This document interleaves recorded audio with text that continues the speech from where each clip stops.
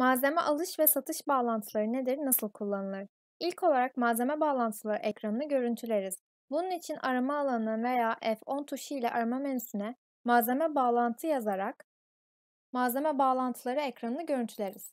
Örneğin toptancı ile tedarikçi veya bayi ile müşteri arasında yapılacak anlaşmalarda belirli ay, yıl, dönemlerde bir ürünün tutarı net ağırlığı veya net hacmi bazında ne kadar malzeme geldiğini, ne kadar daha malzeme gelmesi gerektiğini veya ne kadar daha satış yapmamız gerektiğini belirten bağlantı türleridir. İlk olarak aşağıdaki panelden ekli ile yeni bir malzeme bağlantısı kaydı oluştururuz. Firma alanı pasif olarak gelecektir. Eğer sunucumuza tanımlı birden fazla firma var ise ilgili firmadan giriş yaparak işlemlerimizi gerçekleştiririz. Genel alanında bulunan kod bilgisi liste ekranımızda yer alan kayıtlara göre sıralı gelecektir.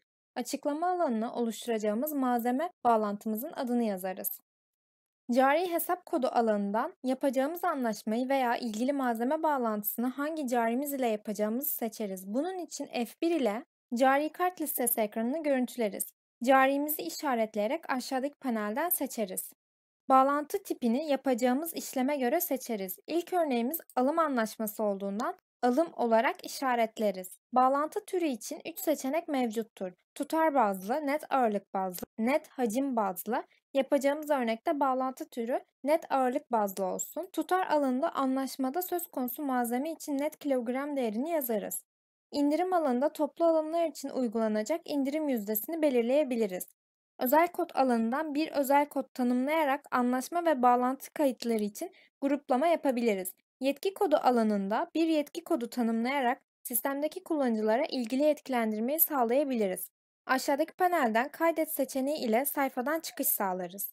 Eklemiş olduğumuz alım anlaşması liste ekranımızda yer alacaktır. Yeni bir kayıt oluşturmak için aşağıdaki panelden ekle seçeneğini kullanırız. Kod bilgisi liste ekranımızda yer alan kayıtlara göre sıralı gelecektir. Açıklama alanına oluşturacağımız malzeme bağlantımızın adını yazarız.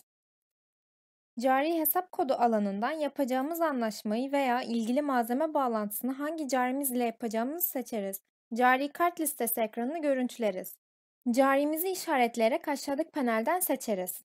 Bağlantı tipini yapacağımız işleme göre seçeriz. İkinci örneğimiz satış anlaşması olduğundan bağlantı tipini satış olarak seçeriz.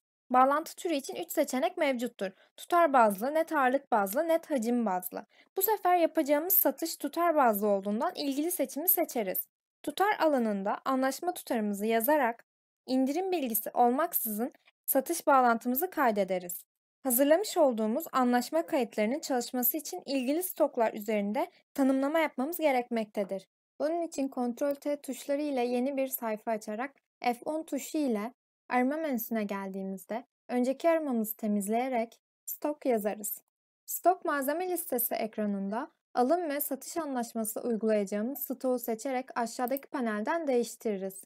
Stok kart detayı sayfasında bulunan boyutlar sekmesinde anlaşma kaydında seçmiş olduğumuz bağlantı türündeki alana ilgili bilgiyi ekleyerek kaydederiz.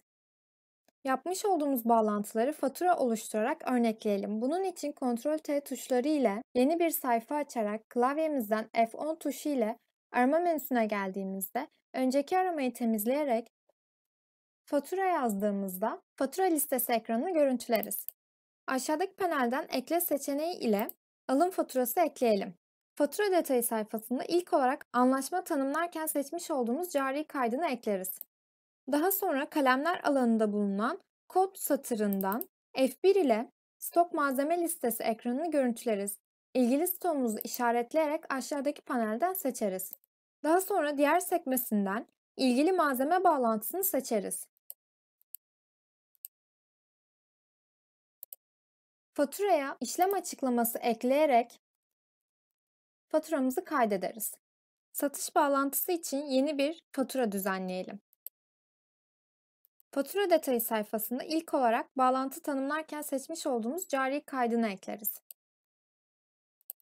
Daha sonra kalemler alanında bulunan kod satırından F1 ile stok malzeme listesi ekranımızı görüntüleriz. İlgili stoğumuzu işaretleyerek seçeriz. Daha sonra diğer sekmesinden ilgili malzeme bağlantımızı seçeriz. Faturaya ait işlem açıklaması ekleyerek faturamızı kaydederiz. Malzeme bağlantı listesi ekranına geri döneriz. Liste ekranımızı yenileriz. Bağlantı değeri alanında anlaşma kaydımızdaki tutar yer almaktadır. Hareket değeri alanında düzenlemiş olduğumuz fatura tutarı yer almaktadır. Kalan değer alanında iki değerimizin farkı bulunmaktadır. Ağırlık bazlı bağlantılarda kalan değer alanında kaç kilogramlık daha alış yapmamız gerektiğini, tutar bazlı incelediğimizde ise bağlantı kaydımızdaki kaç TL'lik anlaşma bağlantımızın olduğunu görüntüleyebiliriz. Tutar bazlı olarak incelediğimiz bağlantı kaydımızda 500 TL'lik değerden 236 TL'lik bir hareket olduğunu görüntülemekteyiz. Tutar bazlı bağlantılarda kolon değer alanında kaç TL'lik daha satış yapmamız gerektiğini görüntüleyebiliriz.